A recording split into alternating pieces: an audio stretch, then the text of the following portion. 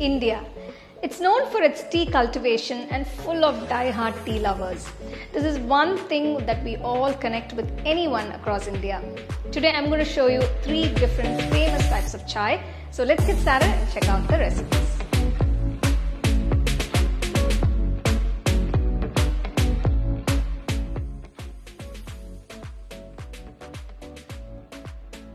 You like this recipe, like, share and subscribe to Home Cooking channel and click on the bell icon to get your notifications.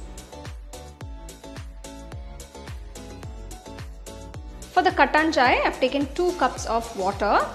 Now this is actually a very nice flavorful black tea. Depending on the number of glasses of tea you're making or cups of tea you want to make, you can add the quantity of water. Pound one large piece of ginger.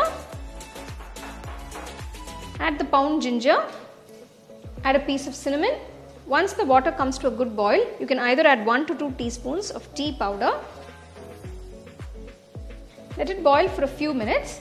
I'm also going to add a few mint leaves to give it a nice flavor. Keep the flame on medium. After adding the mint leaves, boil for another minute.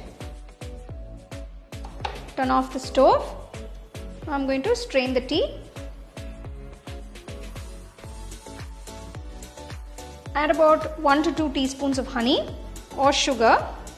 You can adjust the sweetness according to your taste. I'm adding 2 teaspoons.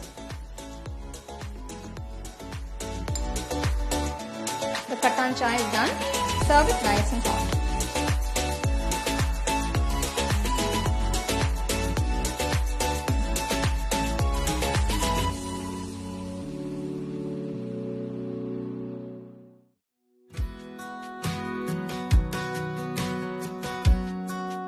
For the masala chai, first I'm going to make the chai masala powder. For this, to the mixer jar, add small pieces of dry ginger, about 5 cardamom, half teaspoon peppercorns, a few cloves, few small pieces of cinnamon, grind everything together.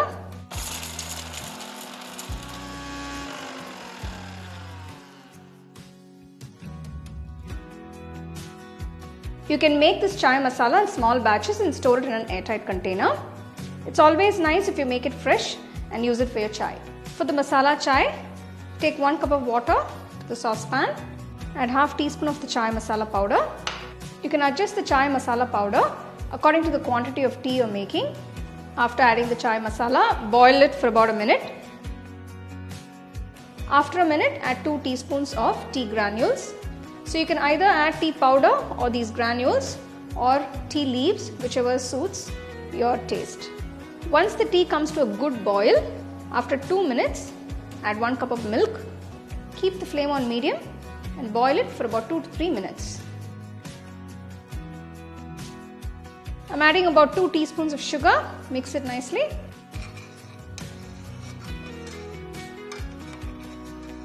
The masala chai smells amazing with the fresh masala powder. It's nice to have different chais uh, instead of the usual um, chai all the time. Once the chai comes to a good boil, turn off the stove, strain it and serve it hot.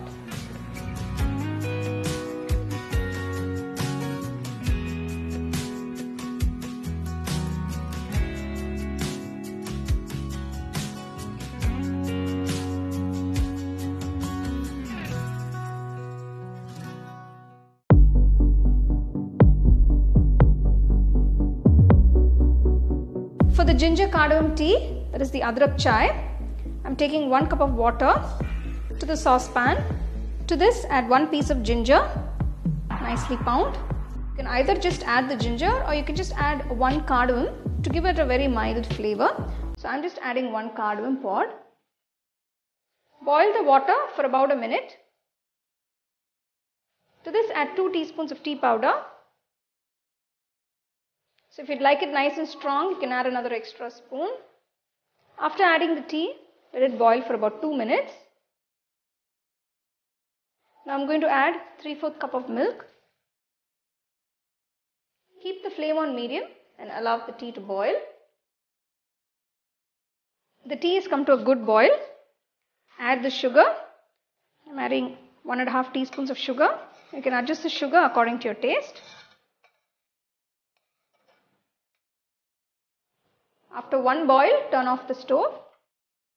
Strain the tea and serve it hot.